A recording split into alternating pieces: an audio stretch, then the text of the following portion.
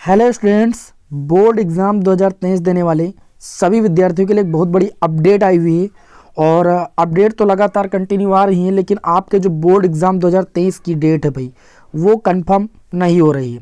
और ऐसी जो ये अपडेट है, आती है विद्यार्थियों के सामने तो विद्यार्थियों के मन में चिंताएँ बढ़ती हैं कि हमारे एकेडमिक कैलेंडर के अकॉर्डिंग तो हमारी जो परीक्षाएँ हैं वो मार्च में आयोजित की जाएँगी। एकेडमिक कैलेंडर मैंने आप लोगों को दिखाया था। लेकिन अभी देखिए एक अपडेट आई हुई है ना? तो इसको पहले ध्यान से समझ लीजिएगा, उसी, उसके बाद ही वीडियो को स्किप कीजिएगा, ठीक है? तो चलिए इसमें हम आपको बता देते हैं क्या अपडेट आई हुई है और किसी प्रकार की अगर अपडेट आपको सबसे पहले प्राप्त करना तो चैनल को सब्सक्राइब कर लीजिए, ठीक है? क्योंकि सबसे पहले अपडेट आपको इसी चैनल पर मिलती है। देखिए, यहाँ पर अपडेट ये आई हुई है कि जो यूपी बोर्ड हाई स्कूल और इंटरमीडिएट की परीक्षा है, वो फरवरी से हो सकती है आयोजित। ठीक है? इसमें देखिए, क्या बताया गया? इसमें बताया गया कि यूपी बोर्ड की परीक्षाओं को लेकर तैयारियाँ तेज हो गई हैं।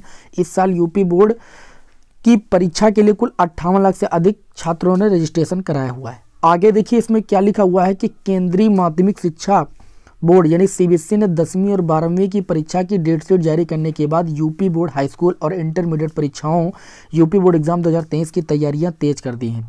ठीक है? अब मेरी बात को समझिए, आप लोगों को हम बता दें, अपना एक्सपीरियंस बताएँ। अगर पिछले साल की हम बात करें तो जो भी काम सीबीएसई बोर्ड करता है, आपको हम पहले बता दें, जो भी काम सीबीएसई बोर्ड करता है उसी के अर्थ पर यूपी बोर्ड करता है। ये दोनों सबसे बड़े बोर्ड हैं आपके, और जो काम सीबीएसई बोर्ड करता है, वही काम यूपी बोर्ड करता है।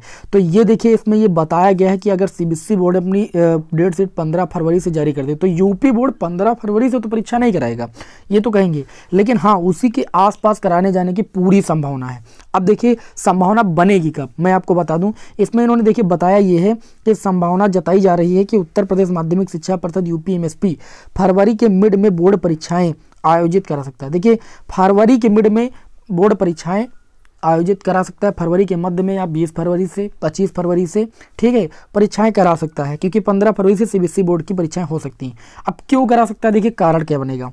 कारण ये बनेगा कि इसमें देखिए लिखा हुआ है कि इससे इतर मुख्यमंत्री ने निर्देश दिए हैं कि बोर्ड परीक्षाएँ समय से कराई जाए ताकि शैक्षणिक सत्र अप्रैल से शुरू हो सके।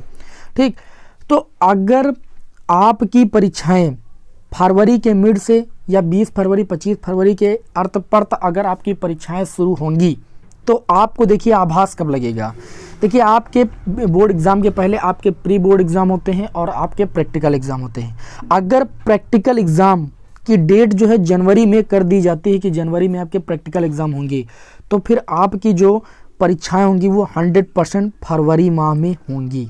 ये आप लिख के रख लीजिए।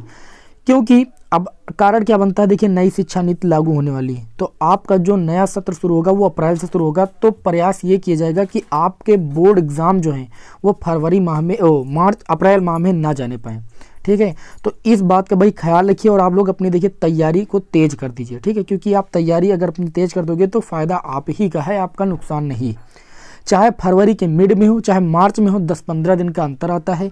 तो मेरा आप लोगों से यही कहना है कि आप सभी लोग अपनी तैयारी बहुत तेज़ी के साथ कर दें और आप सभी लोगों को हमारे यूट्यूब चैनल पर तो बोर्ड एग्ज़ाम की बेस्ट तैयारी कराई ही जाती है तो आप हमारे चैनल पर नए हैं तो भाई सब्सक्राइब ज़रूर कीजिएगा, ठीक है ना? और किसी प्रकार की अगर अपडेट होती है तो आप लोगों को आगे की वीडियो में हम प्रोवाइड करेंगे।